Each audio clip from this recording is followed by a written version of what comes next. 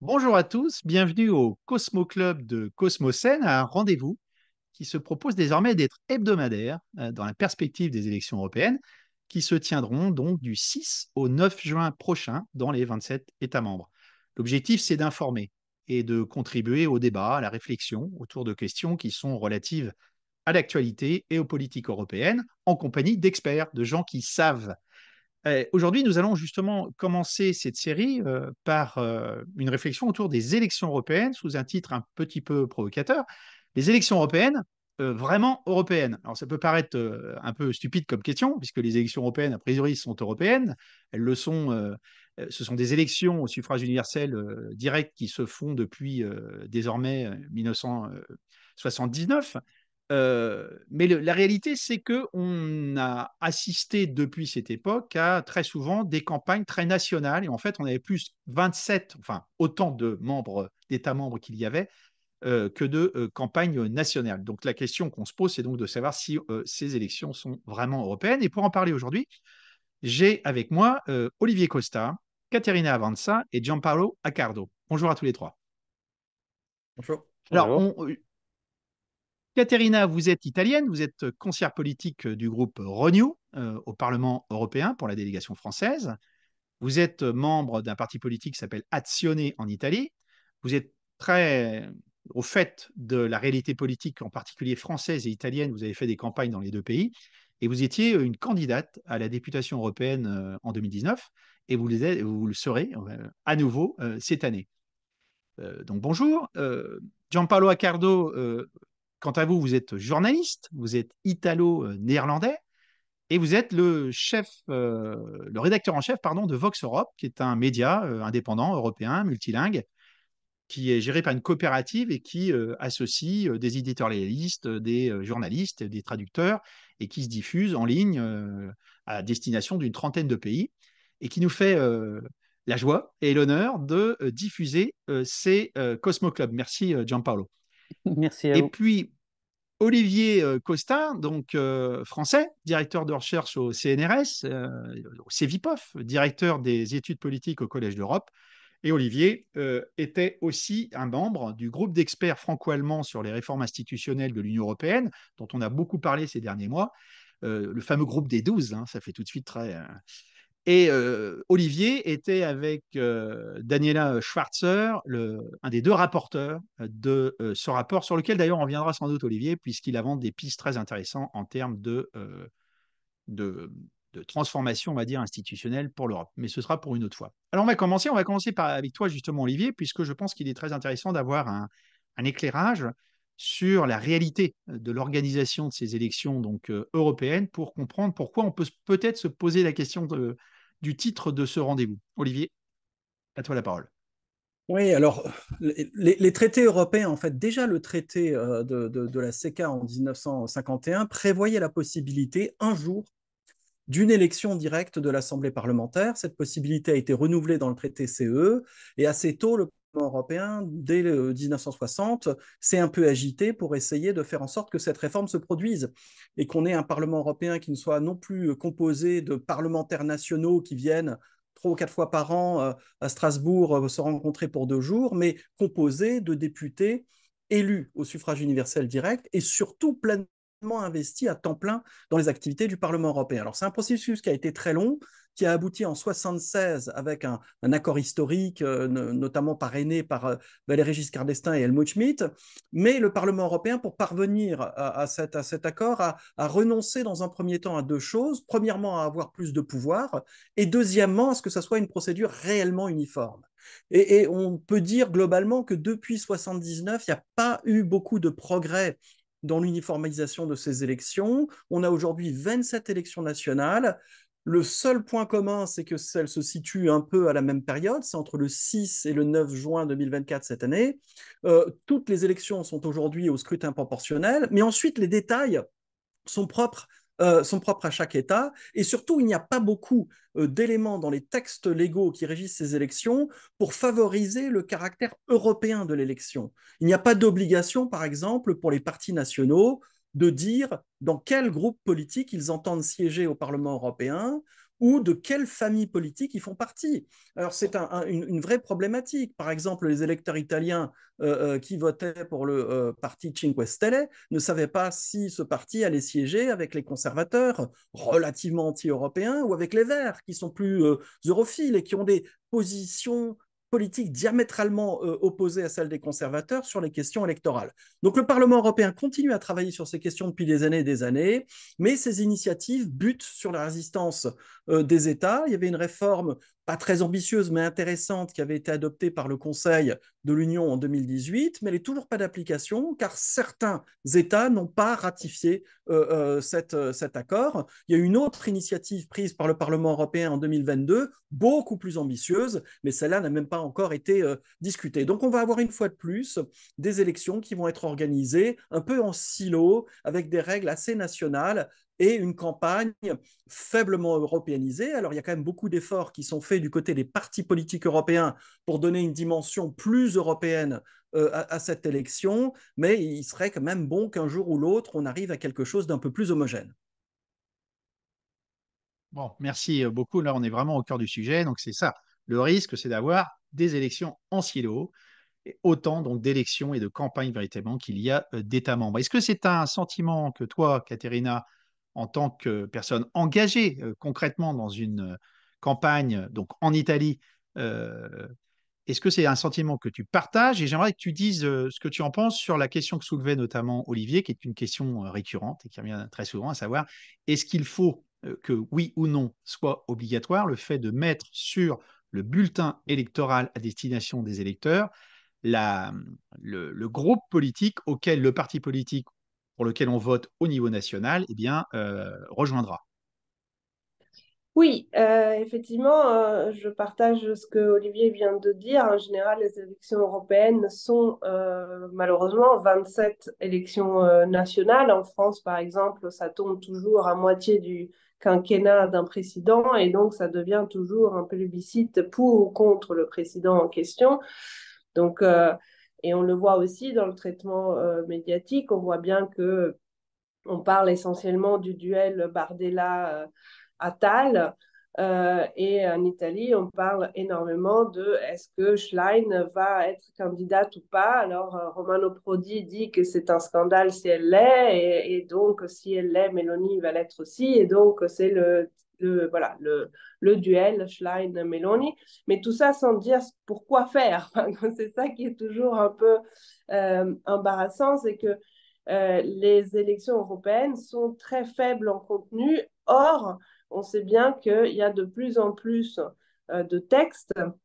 Et en plus, on a vu que dans ce mandat, la Commission a fait de plus en plus de directives qui ont été transformées en règlements parce qu'on s'est rendu compte que les directives après, une fois que on les euh, transpose dans les différents pays, ça donne des distorsions de concurrence dans le marché commun, ça crée plein de problèmes et donc on passe de plus en plus par des règlements. Donc, euh, l'importance d'avoir euh, une classe dirigeante et d'avoir effectivement des partis qui se positionnent sur des politiques européennes au niveau de l'environnement, de l'agriculture. On voit bien l'agriculture, comment c'est devenu euh, d'actualité, l'énergie, etc., etc., l'industrie, on peut continuer la défense, etc. Ça serait fondamental et ce n'est pas euh, le cas. Euh, moi, je suis complètement favorable du fait qu'on on, on, indique sur, quel, sur, le, sur le bulletin, en fait, à quel parti politique, à quel groupe politique, parce qu'en fait, les partis politiques, c'est un peu plus compliqué que ça dans le sens que parfois il y a des groupes politiques comme le mien, euh, Europe, à, l'intérieur duquel il y a deux partis politiques européens et une partie euh, des partis qui ne sont pas adhérents à des partis européens. Donc du coup, c'est plutôt, on va dire, le groupe politique. Et moi, je pense que ça serait euh, utile dans le sens que il y a des vraies différences. Euh, Olivier le, soulignait hein, entre les 5 étoiles, les conservateurs et, et, les verts, mais il y a des vraies différences aussi quand on a parlé de faire une liste unique de la NUPES. Euh, moi, je comprends que Raphaël Glucksmann ait dit non, parce que euh, Raphaël Glucksmann ne va pas voter la même chose sur l'Ukraine que euh, Manon Aubry. C'est une réalité. et du coup, il siège d'ailleurs dans deux groupes différents. Et la NUPES aurait siégé carrément dans trois groupes différents. Et je trouve que par rapport à, un électeur, ce n'est pas un message très clair. D'autant qu'effectivement, on ne connaît pas bien quels sont les groupes politiques euh, au, niveau européen et que du coup, euh, le fait de l'inscrire et de faire campagne aussi sur l'appartenance à une famille politique européenne, je pense que ça serait euh, important justement aussi pour européaniser ces élections. Merci beaucoup, Catherine. On va, on va revenir vers vous après parce que tu as abordé deux sujets qui, moi, m'intéressent beaucoup. Il y a celui donc, des groupes dont tu viens de parler, mais il faut bien avoir à l'esprit que pour certains euh, partis, ils ne veulent pas euh, faire campagne sur leur euh, potentiel appartenance à tel ou tel groupe. On a entendu Orban dire par exemple puisqu'il a été à la fois invité à rejoindre le groupe ID ou le groupe CR, qu'il décidera après les élections. Hein. Donc ça, c'est une première chose, j'aimerais bien vous en parliez. Et la deuxième chose, c'est celle de la personnalisation de la politique. Ça, c'est lié aussi, selon moi, très largement aux circonscriptions. Vous n'avez pas encore évoqué ce problème, on en parlera plus tard, parce que selon les États européens, il n'y a pas les mêmes circonscriptions électorales et ça change totalement la façon de faire campagne. Mais vous y reviendrez sans doute. Mais Gianpaolo, je me tourne vers toi à présent parce que nous, on voudrait comprendre désormais ce qu'il en est au niveau plutôt médiatique. Est-ce que cette réalité, précisément dans ton expérience de rédacteur en chef d'un journal qui est présent dans tous les États membres, euh, est euh, conforme à ce qui vient d'être dit à savoir que tu constates toi aussi qu'effectivement, il y a différentes façons de faire campagne, il y a des, des différences très grandes d'un État à un autre, avec le risque, bien entendu, que les campagnes se fassent sur des thèmes qui sont plutôt nationaux, et qu'il y a donc une forme de nationalisation des élections européennes. Comme, comme l'ont dit euh, Catherine et Olivier, à beaucoup d'égards, ce sont des élections nationales qui, vont se dérouler euh, sous le drapeau européen si on veut, mais ce sont 27 euh, élections nationales et, la presse est tout à fait le reflet de ce, phénomène. Déjà qu'en en, temps normal, la presse des, différents États membres tend à, avoir une vision plutôt sous le prisme national des affaires européennes, c'est-à-dire un peu qu'est-ce qu'il y a pour nous dans cette, dans cette mesure. quelles sont les répercussions sur, sur les citoyens italiens, français, allemands, roumains, etc ce qui à la limite est un peu normal.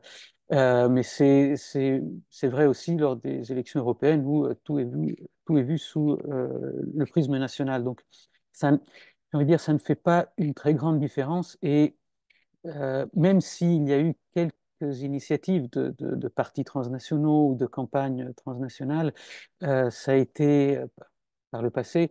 Ça a été euh, couvert, on va dire, par, les, différents médias nationaux, euh, un peu sous l'aspect anecdotique, euh, notamment parce que c'est toujours agi de ce n'était jamais des partis, des grands partis, si, on veut, mainstream ou majoritaires, qui, qui ont eu ces initiatives dans les différents pays.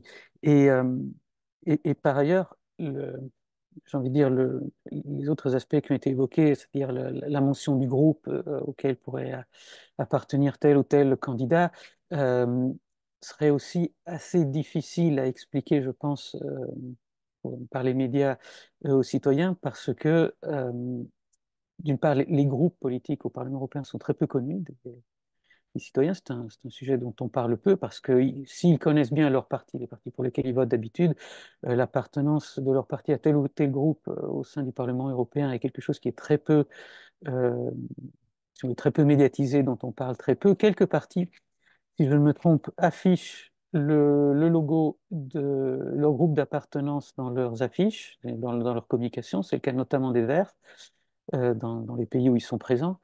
Mais sinon, ça, reste, ça, demeure aussi très, très national. Et les campagnes sont d'ailleurs, sont d'ailleurs à l'avenant. je vois mal des candidats dire au Parlement européen, nous allons porter cette position-ci ou, telle autre position sur des sujets qui sont finalement très techniques. et c'est une des raisons pour lesquelles ces sujets sont peu couvert finalement par euh, la presse nationale et on est toujours au même, on, revient toujours au même point. Euh, la couverture des affaires européennes est relativement, euh, comment on dit, indigente par rapport aux enjeux. Merci. Alors justement, je, m'adresse à, vous tous désormais. Est-ce qu'il ne faut pas attendre des événements eux-mêmes de contribuer à cette européanisation des élections? De faire en sorte que véritablement on les perçoive dans une perspective transnationale. Alors là, on a un exemple actuellement qui, avec la crise agricole, qui s'est développée dans différents États membres et qui en appelle aussi à une politique, une véritable politique agricole, politique commune, qui est la politique agricole commune. Est-ce que là, il faut s'en féliciter plutôt d'une certaine façon? Est-ce que ce n'est pas le genre de, choses dont nous avions besoin pour avoir enfin justement une, une approche européenne des élections européennes? Qu'est-ce que vous en pensez? Olivier, peut-être? Euh, ce qui se passe avec la crise agricole, en fait, c'est le reflet d'évolutions de fonds qui ont lieu depuis, euh, depuis 20 ans. On pourrait dire que un des... il y a eu quelques événements comme ça majeurs. Moi, je me souviens de, la crise des essais nucléaires en 95, quand Jacques Chirac avait annoncé qu'il allait reprendre les essais nucléaires, les mobilisations au Parlement européen et la mobilisation transnationale qui a eu lieu à l'échelle de toute l'Europe sur le sujet.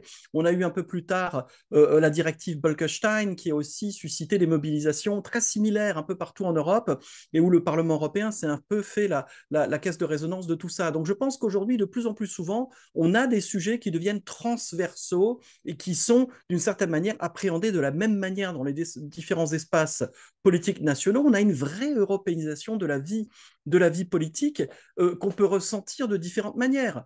On, le ressent parce que le jeu politique à Bruxelles est de plus en plus politisé.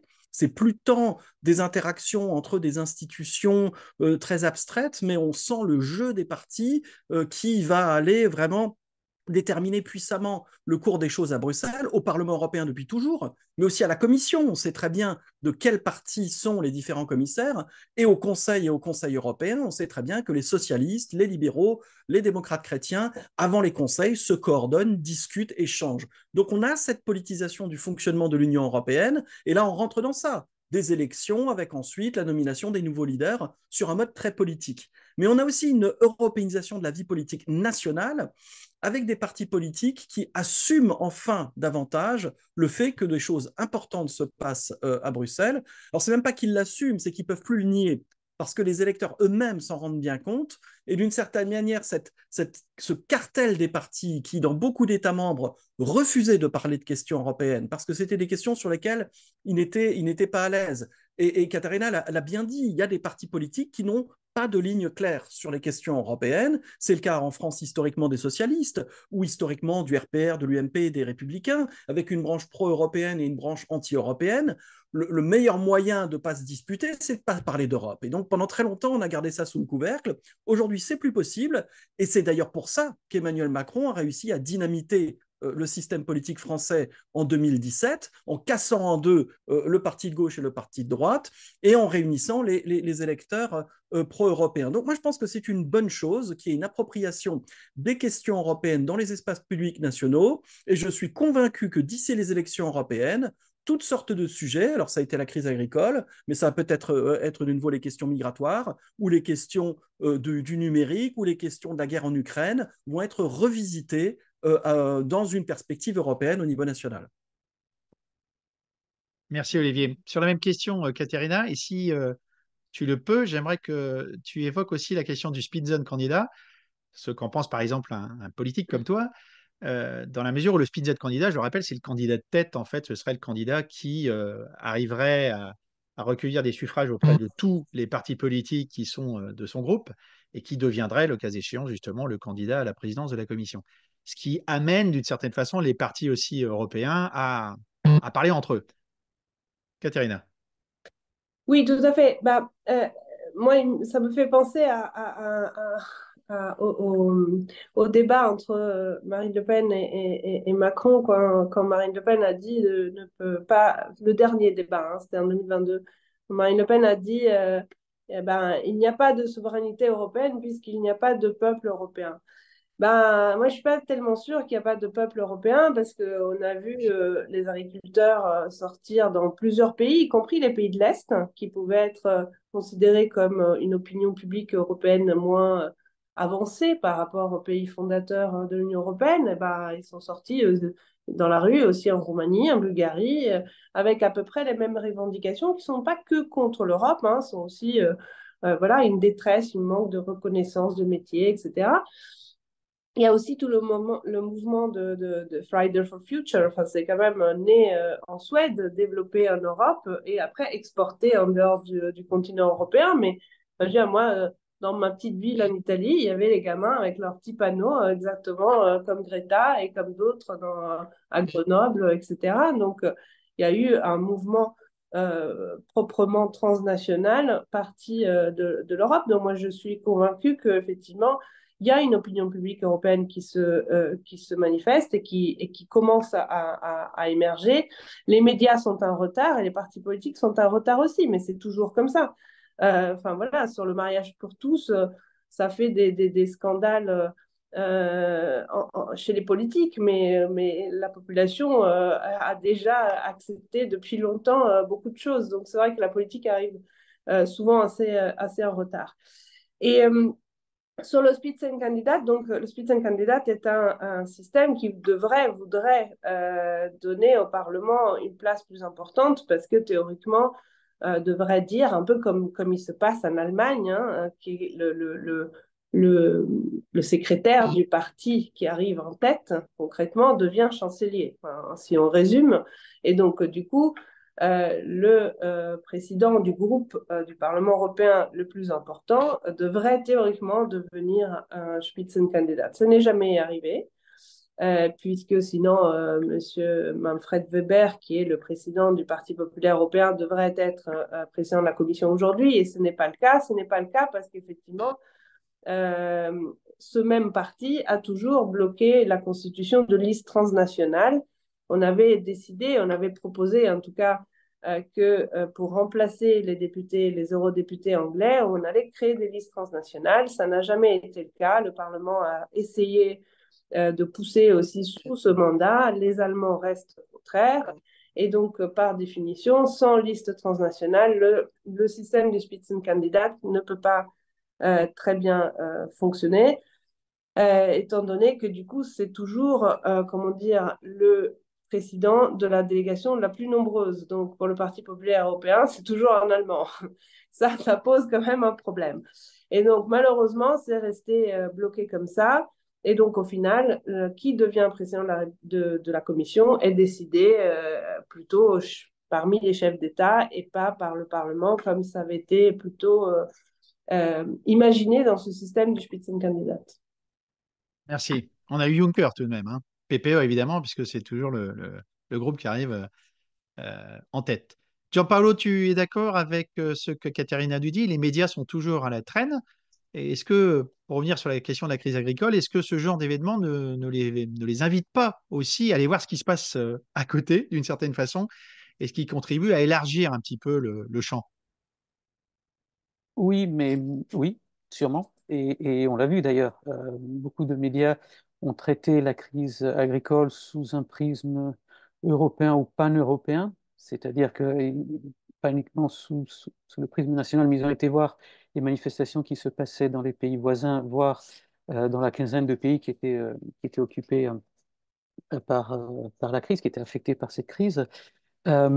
et il y a eu peut-être un moment, euh, avant la crise agricole, où on a vraiment pris conscience euh, du fait qu'il existe des enjeux européens et que ceux-ci euh, sont, si on veut, gérés à Bruxelles, à Strasbourg, au Luxembourg, avant de l'être dans les capitales européennes, c'était au moment de la crise du Covid, lorsque, d'une part, il a fallu trouver des vaccins, fournir des vaccins aux Européens, et la pression est à la fois sur les politiques, sur les institutions, euh, était telle que les médias n'ont pas pu ne pas euh, en parler, ne pas euh, comment dire, relater cet, angle, cet aspect essentiellement européen. Et ensuite, quand il a fallu se mobiliser pour la reconstruction post-Covid, là aussi, les, médias de tous les pays ont été très attentifs à la manière dont les 27 et la Commission se sont en quelque sorte retrousser les manches pour trouver les fonds nécessaires pour, euh, pour la reconstruction. Ils ont suivi ça de près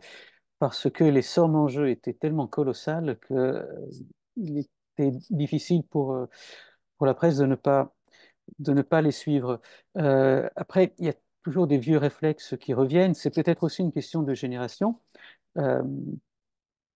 Catherine a, évoqué tout à l'heure les Fridays for Future, qui sont, qui effectivement est un mouvement, est un mouvement pan-européen, mais c'est un mouvement essentiellement constitué de jeunes, des jeunes qui, eux, sont tout à fait conscients de, leur, on va dire, de leur identité européenne, peut-être même avant leur propre identité nationale ou régionale.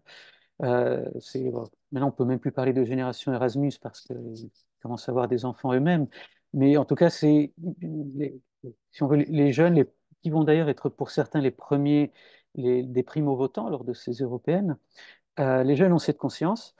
C'est peut-être aussi donc une question de génération parce que les personnes qui font les médias, euh, la plupart de ce qu'on appelle les legacy media, c'est-à-dire les, journaux de référence, les, journaux télévisés, enfin les, médias euh, de masse, les vrais médias de masse, euh, appartiennent à une génération plus ancienne. C'est des gens qui ont entre 50 et 70 ans, euh, en Italie peut-être même davantage. Et eux ont moins cet esprit, cette conscience européenne. je, dis ça parce que après, ça se reflète dans les choix éditoriaux qui sont faits, dans les priorités qui sont faites au niveau éditorial. Et qui, parmi mes, collègues, n'a pas assisté à des réunions de rédaction où les rédacteurs en chef souvent qu'un cas, c'est que savoir davantage génère, euh, ne disent Oh, les sujets européens, ça fait chier tout le monde, on n'y comprend rien, on va laisser tomber ou on fait le strict minimum. Euh, c'est quelque chose que j'ai entendu dans à peu près tous les pays, euh, sauf peut-être les pays d'Europe centrale et orientale où il y a un, esprit plus dynamique, on regarde avec davantage d'attention à ce qui se passe au niveau des institutions européennes pour des raisons historiques assez, évidentes. Mais donc faire passer des sujets européens, euh, c'est toujours assez difficile. Et pour des correspondants à Bruxelles, c'est même parfois euh, la croix et la bannière. Euh, donc, il n'est pas étonnant que, au final, voilà, les, médias, comme disait Catherine, sont un peu à la traîne, voire même peut-être plus, que les politiques.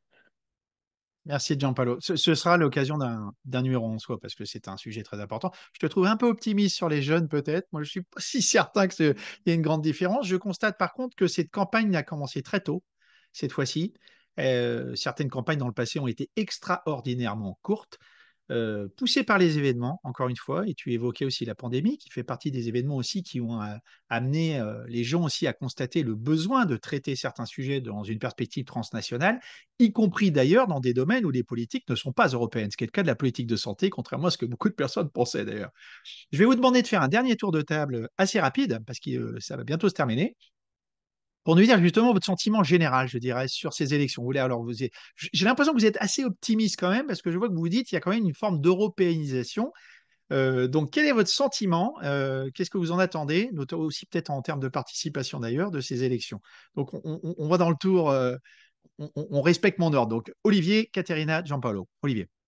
Bah, je commencerai par remarquer qu'on entend pas mal de bêtises sur le, taux de participation aux élections européennes. Il y a, cette, cette, idée d'élections qui sont les, mal-aimés des citoyens. C'est vrai que historiquement en France, ce sont des élections où les gens votaient très peu. Il y avait un peu la découverte en 79, euh, euh, la surprise de ce, nouveau scrutin et ont eu un, déclin continu de la participation. Mais il faut rappeler qu'il y a une stabilisation en 2014, qui était un premier progrès, et un sursaut de participation assez remarquable en 2019 parce qu'en 2019, on a quand même une participation qui était à 50% en France, d'ailleurs 50% aussi euh, à l'échelle de l'Union européenne, euh, ce qui n'est pas mal du tout pour des élections aussi compliquées et pour lesquelles les enjeux sont aussi difficiles, euh, difficiles à lire. Et aujourd'hui, si on prend toutes les dernières élections euh, qu'il y a eu en France, les élections où on vote le plus, ce sont les élections présidentielles, parce qu'on est toujours au-delà de 70%, mais toutes les autres élections ont un taux de participation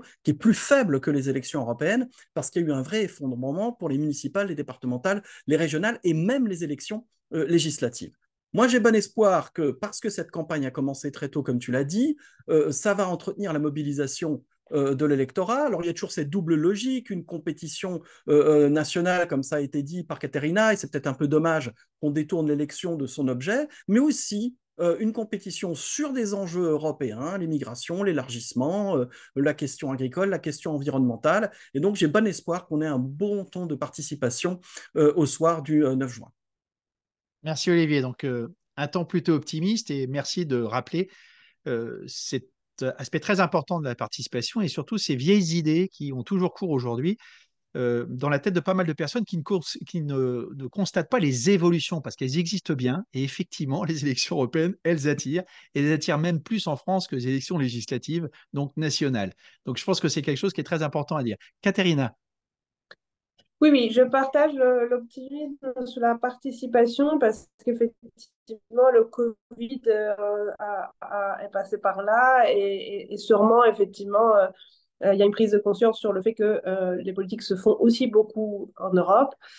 Néanmoins, il y a toujours une dichotomie un peu particulière entre le déclaratif et après ce qu'on voit. Si vous lisez le dernier Eurobaromètre, vous allez penser que le premier parti qui gagnera les élections en Italie sera un parti euh, pro-européen.